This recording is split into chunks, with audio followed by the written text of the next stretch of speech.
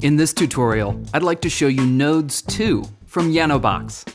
Nodes is a unique effect that combines text, images, and graphics into beautiful 3D animations to make your project stand out from the rest. I'm in Motion, but Nodes also works in Final Cut Pro 10, Premiere Pro, and After Effects as well. You can find it in the Generators library under Yanobox. Nodes comes fully loaded with over 100 presets in 5 different categories. Let's take a look at a few from each.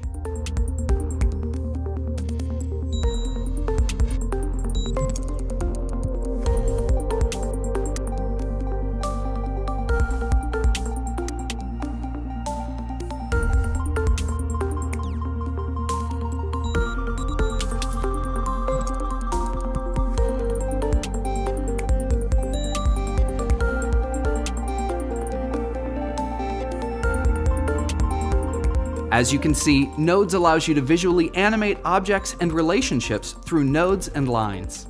Use this effect for title screens, a way to convey information, text effects, lower thirds, and more.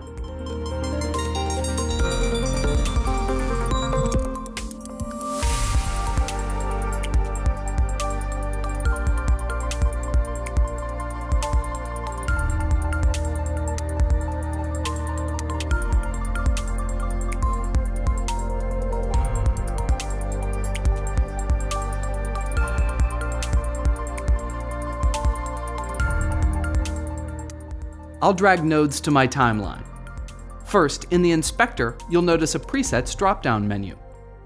I like the preset Map Highlight, so I'll use it to go over some of the many parameters included in the effect.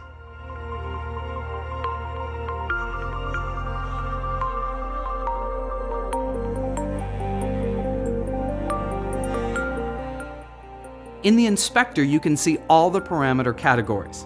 The individual drop-down menus allow you to show only the parameter that you're working on. The Master Completion slider will set the progression of all lines, nodes, and text in synchrony. Check or uncheck the nodes, lines, and text checkboxes to enable or disable each part of the effect. First, let's take a look at the text. This preset has a built-in set of locations. The Edit button provides you with an interface to edit your text or to import a text file.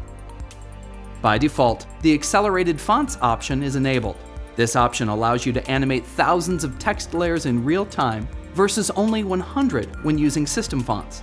Due to the complexity of nodes, you'll find keeping accelerated fonts enabled is more beneficial. You can change the font, size, color, and position of the text easily. I can choose which piece of text is featured in this preset by using the Text Offset Index slider. As I go through all of these parameters, always remember each of these is animatable, which could lead to some cool effects. Next, we'll go to the Node settings. Here we have control of the look of the nodes themselves. Use the Nodes Type dropdown to see the available options. I'll choose Image List to load a few images as nodes.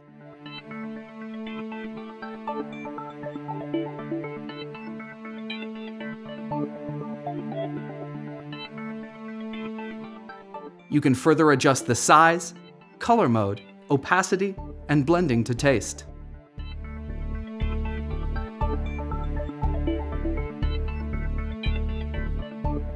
The connections settings manage how the nodes are linked together. With several methods to choose from, each has its own set of ways that can be customized further.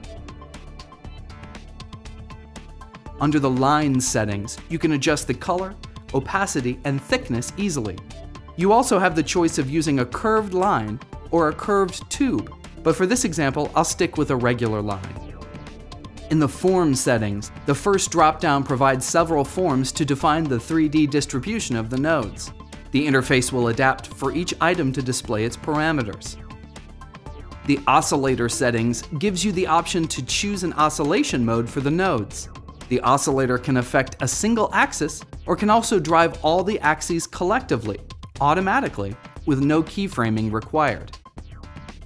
The animation parameter provides options to automatically animate the nodes around a particular axis with the ability to adjust the animation speed.